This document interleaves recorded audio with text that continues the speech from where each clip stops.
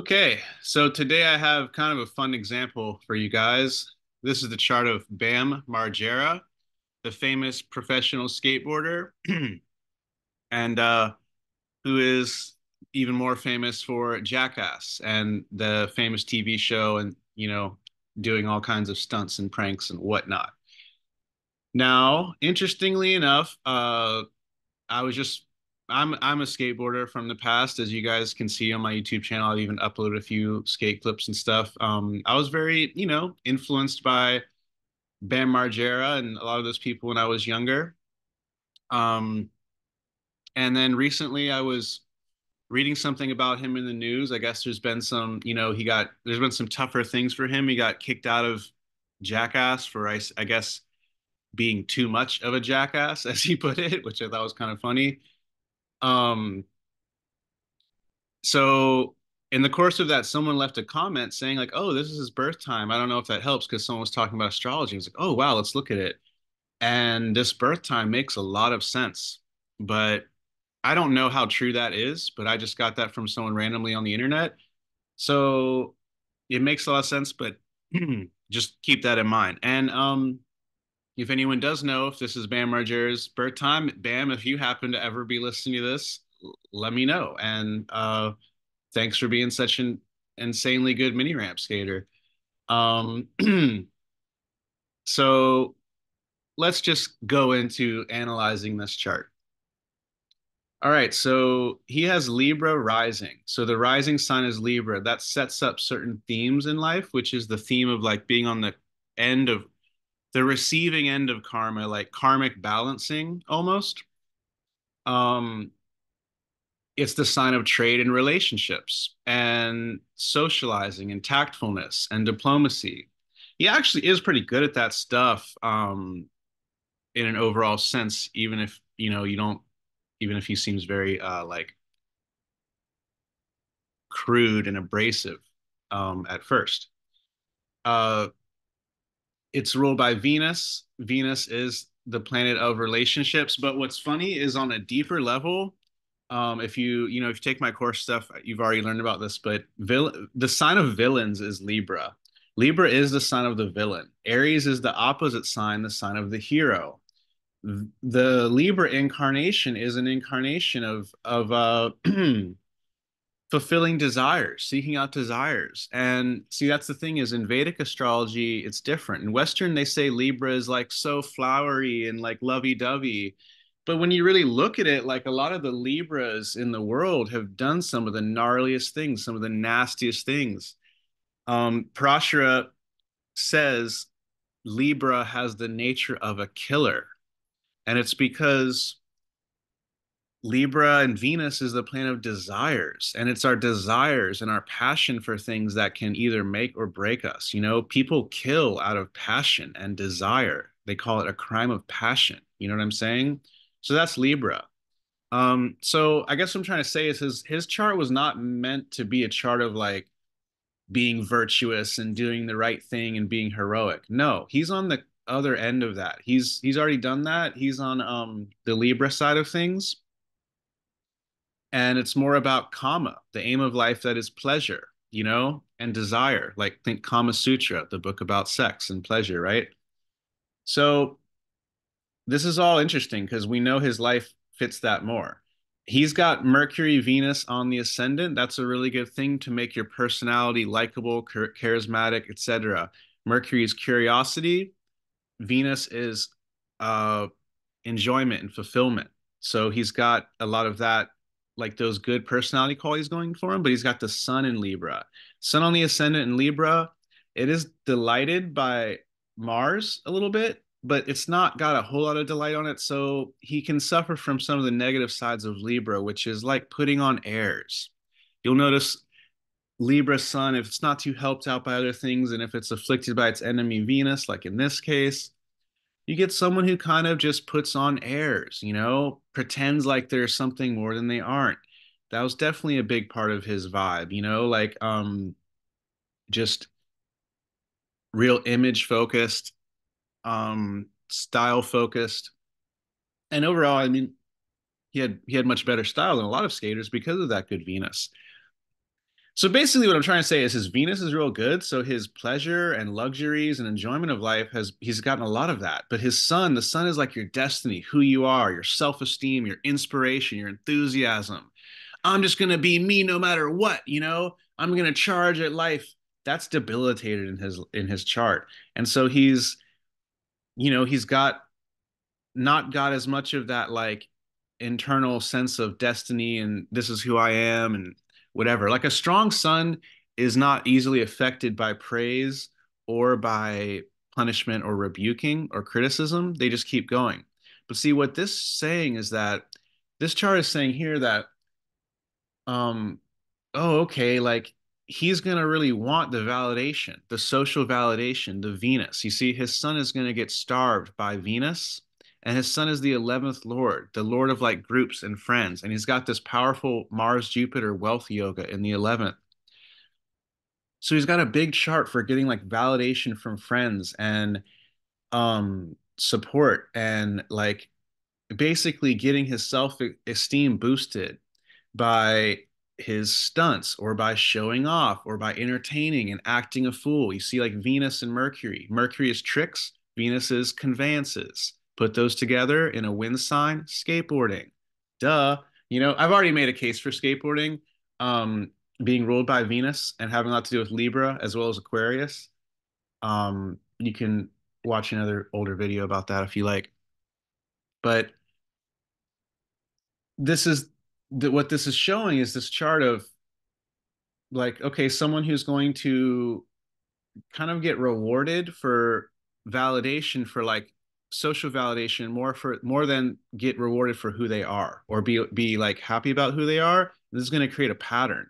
So you see like this another way you could see it is that venus and sun gives issues about social conditioning basically. Like um the people who kind of just go with the herd and go with the flow and don't really do what's right for them but do what they think is cool or just going to make them cooler or this or that that's someone who has a starved sun by Venus. Um, if sun's much stronger and Venus is much weaker, one will tend to ignore all the social things and just focus on their goals and their sense of self. So uh, basically, he was recognized, you know, and got recognition and got was kind of conditioned to seek validation from others um, for wild stunts and things like that because the sun rules the 11th and it rules that Jupiter and Mars, which is kind of like a thing which makes you lucky around danger. Um, but the Jupiter's actually an evil planet for Libra rising. If you guys also, I'm not going to take the time to teach you all these techniques. Like you can go and study with me if you want to learn this stuff. But yeah, if you know about the Parashara, Dharma, Karma, Adhipati yogas, like how for each rising sign there are planets that become yoga makers that create Raja Yoga, and there are yoga breakers. Well, as you may know, the 11th Lord is always evil in the chart. So the sun is actually a yoga breaker planet um, for him.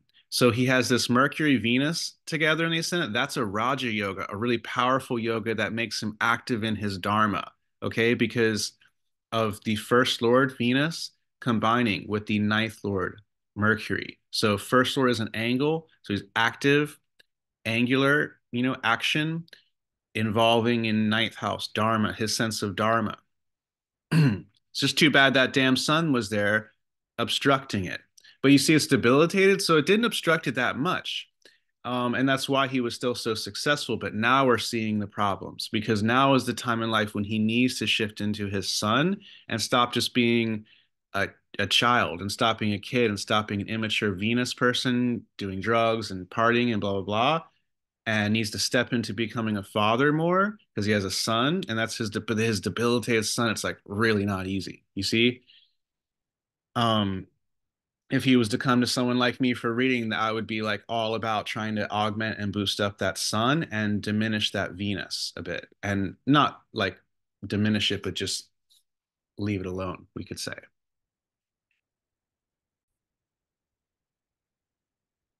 um Oh, and then the other thing I, I I got sidetracked there, but yeah, so the Jupiter becomes the other one of the other evil planets for Libra rising because it rules the third and the sixth, and Jupiter is uh in the 11th creating this yoga, you know? So Jupiter is kind of also involving him in yoga breaking or what we could say like activities that are more for validation than they are for dharma.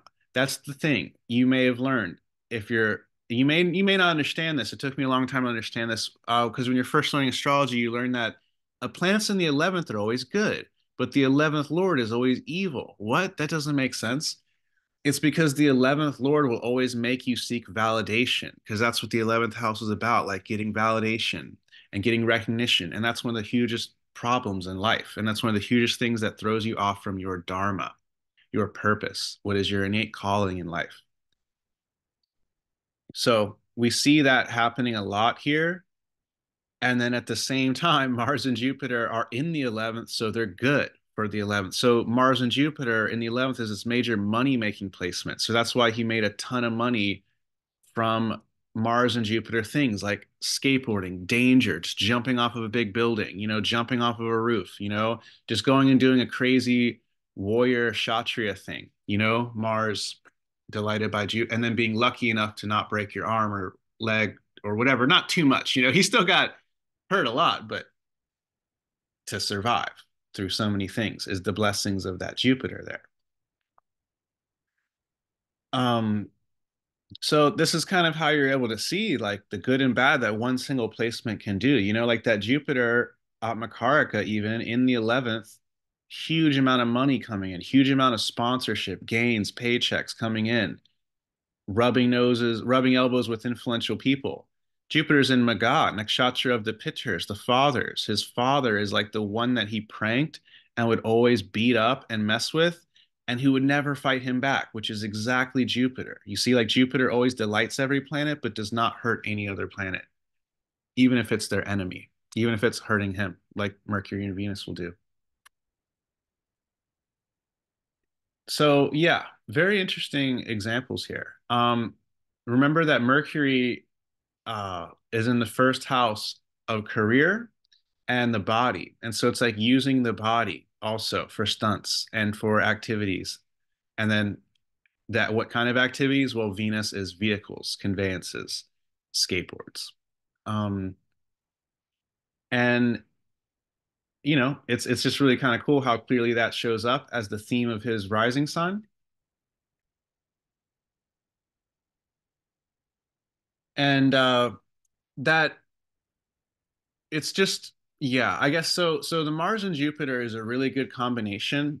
Um, but it is, it does come out a little bit more egotistical in this sort of inflection, I guess is what I want to say, because um, that Mars is extremely lucky around danger because of being delighted by Jupiter and in the 11th house um, and manifested by Mercury and its lord, the sun, and Jupiter. Yeah, wow, that's a that's a really well manifested Mars. If you know the Jaimini second strength techniques, that's what I'm talking about there. Rashi aspecting. Um, again, that's something you gotta know well, but you can take my course if you want to know about that.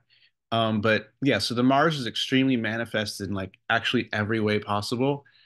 Um, so extremely lucky around danger, but the reason it has more, it's see, this is like another placement that can make you a yogi, is what I'm trying to get. Or you've heard me say this before in other combinations in other houses and with other things.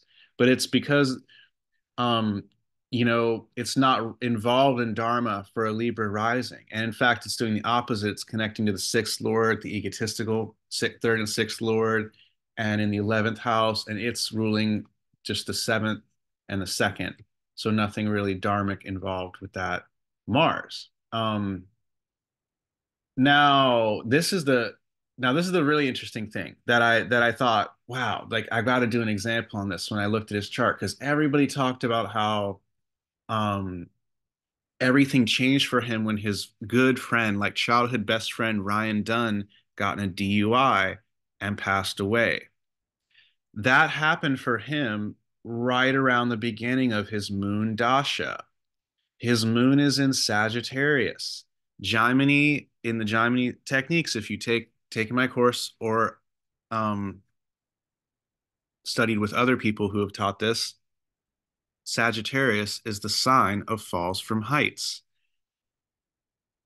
it's the sign of basically literally Jaimini says while proceeding a fall from a height. So it literally means Sag is the sign of being thrown from your horse in the old days. It's the sign of car accidents in modern days because that's the same thing as being thrown from a horse, right? A fall from a height. Or if Sag is not afflicted at all and is really good, it can mean th- something kind of falls in front of you or falls in your lap. But it's usually afflicted. So it's usually more of a fall from a height or a difficult thing that happens because Sag is a sign of hitting the goal. Well, you don't always hit the goal when there's cruel planets involved. And look at what's Rashi aspects. And again, you only use Rashi aspects for this technique. And this is a really high level advanced technique you have to learn well. So don't expect to just learn this right now. But for those who've already taken my courses or other courses that have covered this, isn't this a ridiculously amazing and cool example of the fall from a height? Because as Moon Dasha ran, Moon is in Sag Rashi aspected only by malefics, Saturn and Rahu and Ketu, but we just count Rahu when it's Ketu and Rahu both aspecting. So Saturn Rahu, boom, like there is something unavoidable and difficult about that moon. Um, the the moon is in Mula Nakshatra also, which is a really, really inauspicious, unfortunate nakshatra, which deals with things falling apart and crumbling. It's the it's ruled by, you know, Alakshmi. Literally, Lakshmi is the goddess of fortune. Alakshmi is the goddess of misfortune. So you have to learn to take misfortunes and spiritualize them and transform them when you have Mula Nakshatra. And like if but if it's afflicted, you overly dwell on them and overly fixate on them and can't move past them. And that's what happened with him because of all these afflictions. He was definitely really wounded by this event. I mean, this event, he was in like the highest point of his life. And then Ryan Dunn gets in a DUI and passes away. And that puts him into a hard spiral of drinking and alcoholism.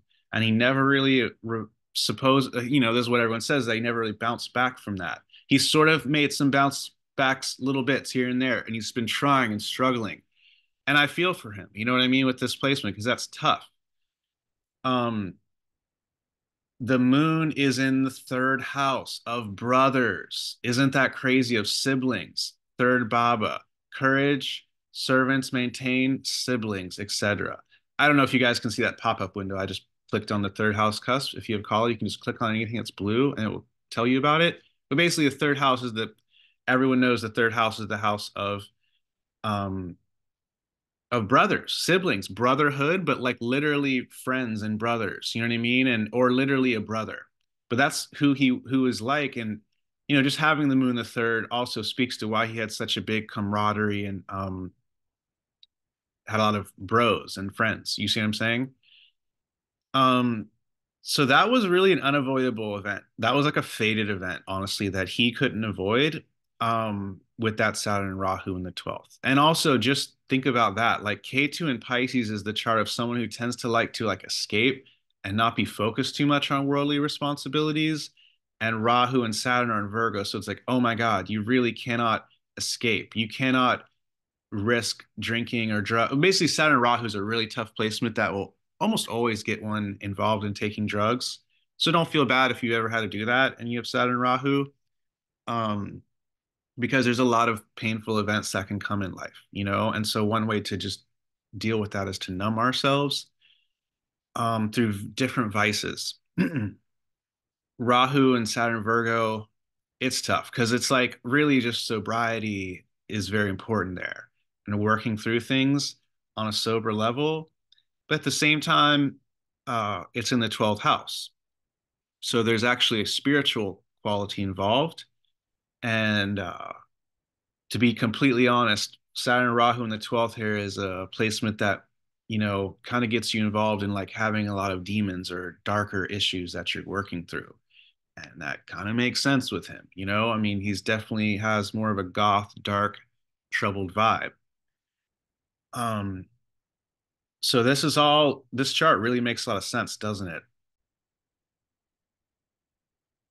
Okay, so I was just curious. I wanted to look at exactly when Ryan Dunn passed away. He passed away in June of 2011. So this would have been during his moon Rahu Dasha. Isn't that crazy? So it's so I mean, it's so specific because Rahu, it would be Rahu or Saturn that we would expect, you know, to cause that this loss, this tragic event.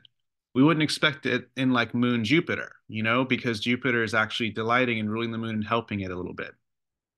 And is a little more of a lucky planet, even though it has other issues that we've described. So wow, even down to the Antar Dasha, really made a lot of sense. Um, really unfortunate. Okay, so just for fun, just to go a little bit more in depth, um, I'm not going to explain all the little details of this because, again, this is more like a collegiate black belt level example, but you just want to follow along as best you can. But um, look at the D30. Moon is totally impaired or Vikala by Mars and Rahu, but it is helped by Jupiter. So he doesn't die. This is crazy because in the Jaimini system, when Jupiter is aspecting in a situation like this, it keeps you from dying. It happens to another person around you. That's ex- like uh, you guys who've gone through the my course or other like courses on that. It's like the I'm talking about the yoga about burning your house down, having your house burned down, and then if Jupiter aspects, it's at a house near you or like in your neighborhood. In the same way, this Jupiter aspecting saved him from dying in a DUI, but he lost a brother, a friend, Moon is in Gemini, sign of brothers, sign of friends. With Mars, planet of brothers, friends, siblings, teammates. With Rahu, an eclipse, a loss, a death, you know? D30 really checks out, doesn't it? Now, D3, Drekana Varga, the Varga of siblings. So he was in Moon Dasha. He his uh, D30 got activated with all these afflictions. In the Moon Dasha in the D3, Leo gets activated actually. Um, and it's in good dignity here, but it and it's with Mars. Um, it's also aspected by Jupiter, so that's blessing it. And then there's a Saturn, but it's pretty strong. But then a debilitated Sun, and the debilitated Sun is the Lord of the Third in this Varga. Um, so it kind of has to do with brothers, and so there's an aspect, a debilitated Sun, and those are all cruel planets. You know, it's Mars, Sun, Saturn, cruel things hitting there, and only Jupiter kind of helping but still shows a very cruel event um, with siblings and brothers during the moon dasha, doesn't it?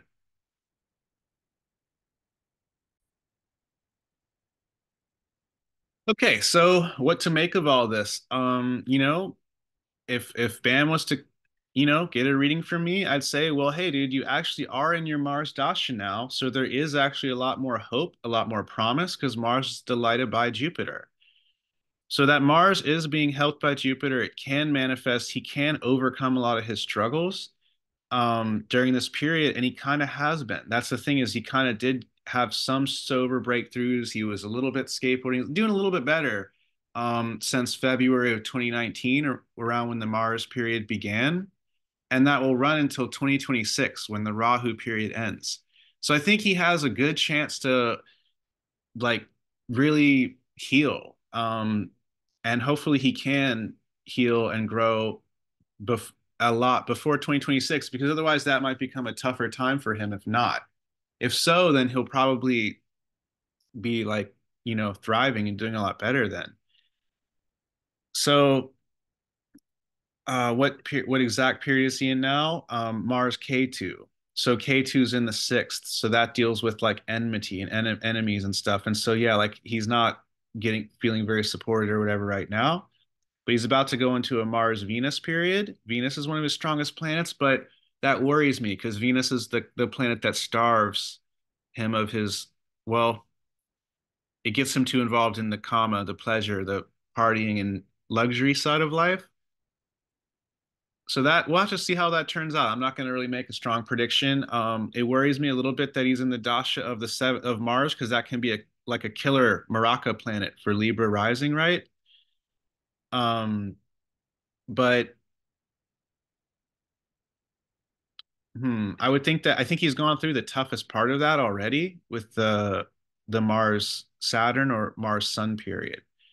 So I think he's like, you know, I think I don't know. I'm not gonna actually make a full prediction because I don't do longevity, and I, I think I've already said enough here um, for the public and stuff like that. And it definitely would not be appropriate to predict longevity um, or anything like that in this case. So, like, I don't know. I just, you know, I've I read the articles in the news, um, and as an astrologer, I'm not one of those people who's like, "Ooh, you're really bad," or "Ooh, you're really good." I like to just see it in a nuanced angle and see what's really going on in this person's world in their life. And I hope that I've painted a good picture of that. Um, and to be honest, I think it's kind of I got kind of annoyed with reading about like Steve-O and all, all these other jackass guys like shitting on him just because he hasn't gotten sober. It's like that's not the way to get help someone to get sober is to just shit on them and humiliate them in public. Like they're writing posts and stuff like publicly, like humiliating him. Uh, that is not the way you get a dude to heal get that dude to like get a reading, you know, or like get some sort of therapy. Don't put him in a rehab that's like he doesn't want to be in. Put him in a place where like he might be into astrology because he's a kind of goth dude or whatever. Or he might you get what I'm saying? Like like work with him. And it seems like they're almost like just pissed and mad at him, but they're not themselves healed enough to really help and come at him from a professional or from like a qualified or actually healed standpoint. They're just like, well, well, I got over my tough stuff. I still want to do drugs and party, but I can't. So you shouldn't either. And that's kind of not the way to approach healing, right? Um, so anyways, this was just like fun video I felt called to do as a skateboarder, someone who knew a lot about this guy in the past, um, and just heard some news stories about him and happened to have his birth info. All right, thanks you guys.